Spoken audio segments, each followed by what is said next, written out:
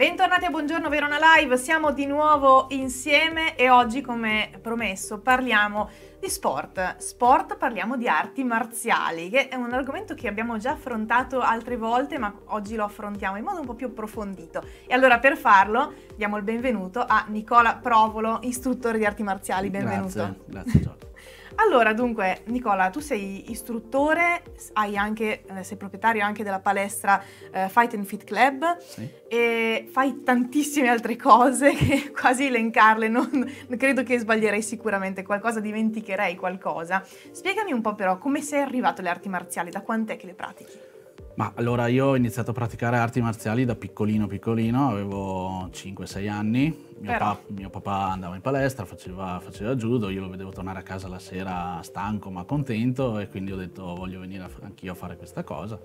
E quindi da lì è partito un po' il mio, il mio amore per, per le arti marziali che ho continuato a portare avanti negli anni qualche anno mi sono fermato per motivi logistici, perché sai, finché non hai la patente, eh certo. i genitori fanno fatica a portarti in giro, però diciamo è stato un po' il filo conduttore di, di tutta la mia vita, le arti marziali. È una cosa di famiglia anche si potrebbe dire, visto che sì, tuo padre... ha iniziato il papà, poi lui in realtà ha smesso, io, io invece ho continuato. sì. ecco, eh, però la cosa particolare secondo me della tua, della tua persona è che eh, tu hai fondato questa palestra, hai aperto questa palestra qualche anno fa, prima facevi sì. altro. Io facevo un'altra attività, prima avevo un'altra professione, ero un libero professionista, un'attività che mi ha dato anche soddisfazioni certo. negli anni, però e, e, facevo, praticavo le arti marziali come, come divertimento, no? come hobby, come fanno tante persone. Poi in realtà l'altra attività ha cominciato a darmi meno soddisfazioni, non mi sentivo appagato e ho detto ma insomma proviamoci a fare diventare del mio hobby un'attività professionale e così nel 2013 ho provato ad aprire la mia palestra che insomma, grazie a Dio nonostante, nonostante tutte le vicissitudini anche recenti che eh, tutti sì. conosciamo e sappiamo, però insomma siamo ancora qui, quindi eh. ci battiamo ancora. Eh, mi sembra giusto.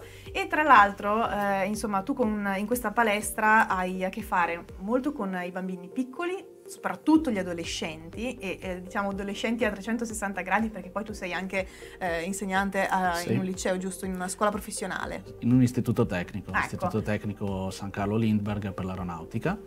Ecco. Insegno diritto perché io comunque sono laureato in giurisprudenza e, e, quindi e, ehm, sì, Abbiamo, abbiamo, i corsi che vanno dai bambini di 5-6 anni fino, fino, agli adulti. Uh, abbiamo deciso di suddividere i corsi in uh, un corso per i bimbi, quindi il corso si chiama Young Warriors Krav Maga, per poi passare a un corso adolescenti, teenager, dai 12-13 fino ai 16-17 anni e poi chi, chi, resiste lo traghettiamo nel corso, nel corso adulti. Chi ecco. resiste? Sì.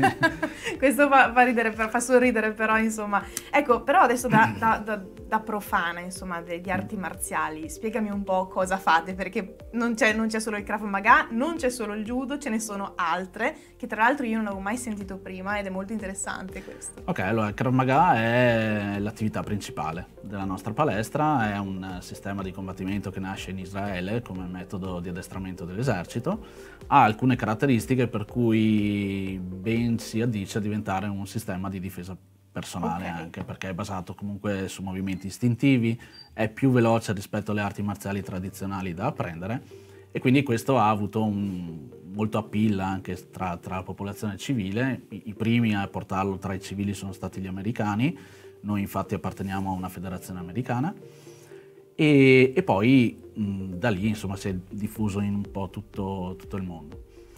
Eh, questa è l'attività principale che facciamo. Ovviamente per i bambini e teenager ci sono dei programmi differenziati, certo. pedagogicamente studiati per la loro Chiaro. età, sia come contenuti sia come eh, parte motoria. Certo. Questa è l'attività principale, poi eh, un'altra disciplina che abbiamo in palestra eh, si chiama Kali ed è il Kali filippino, è una, un'arte marziale tradizionale delle, delle, isole filippine, del sud-est asiatico. Ehm, è conosciuta, per chi la conosce, eh, soprattutto per l'utilizzo di coltelli, bastoni, quindi armi da taglio e da punta e da percussione, però c'è anche una componente a mani nude insomma, importante.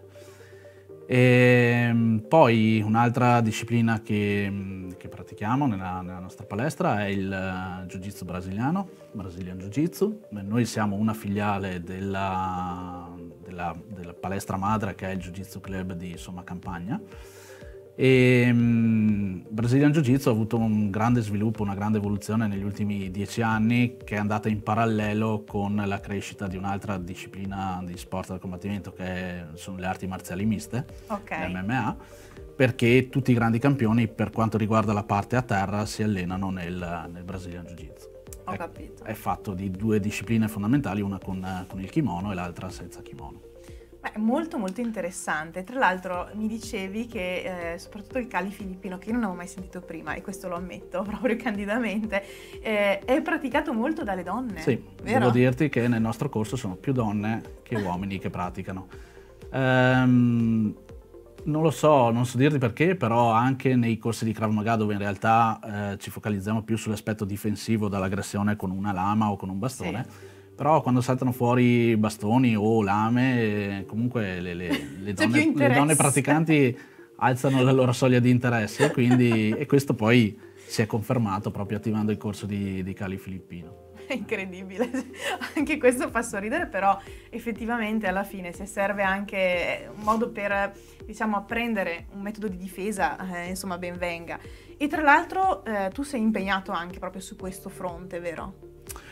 Eh, sì, allora noi mh, da anni eh, ci battiamo per eh, la violenza contro le donne, organizziamo corsi, abbiamo organizzato vari corsi nel corso, sì, nel corso.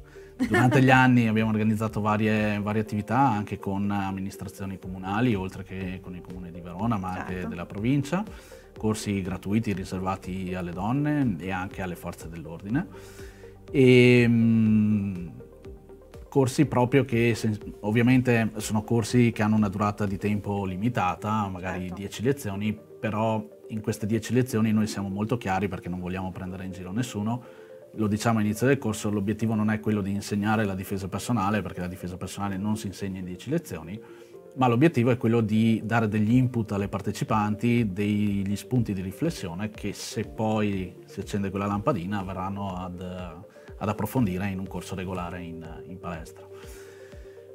Ehm, ci siamo sempre battuti mh, mm, per questa cosa qui, organizzando appunto varie manifestazioni e mh, mm, poi, se vuoi parliamo anche dell'altro, dell'altro progetto, certo. abbiamo io e uno dei, dei miei istruttori, Giacomo, Giacomo Vianello, siamo promotori in Italia di un progetto sociale che si chiama C'è Luisa e mm, questo progetto l'abbiamo, non ce lo siamo inventati, l'abbiamo scoperto su internet in un post che aveva fatto su Facebook eh, Radio DJ, parlando di questo progetto che era attivo in Austria, Svizzera e Germania.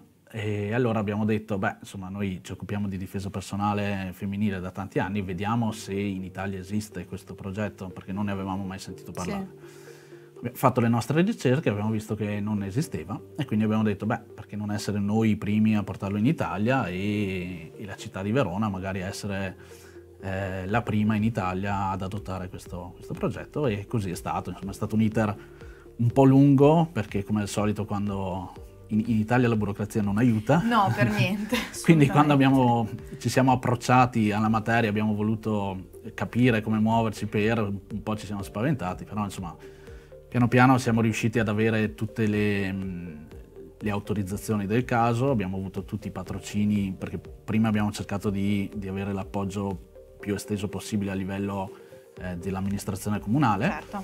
E poi da lì eh, abbiamo iniziato a proporlo. È un, eh, secondo noi un bel progetto che ha delle grandissime, enormi potenzialità, come si è rivelato in eh, Austria, Germania e Svizzera. In Italia purtroppo noi facciamo altre attività, sia io che, che, Giacomo, e quindi abbiamo poco tempo per seguirlo e promuoverlo. Avremmo bisogno di un, di un volano a livello nazionale che, certo. che, ci aiutasse a farlo diffondere. Adesso qui a Verona c'è Rotary Club che ci sta dando una mano, in particolare la delegazione di Verona Sud. Sì. Infatti in questo momento in fiera eh, dovrebbe esserci la fiera dell'agricoltura qui a Verona. Sì e Rotary ha uno stand eh, dove parlano delle loro iniziative, ma dove parlano anche del progetto C'è.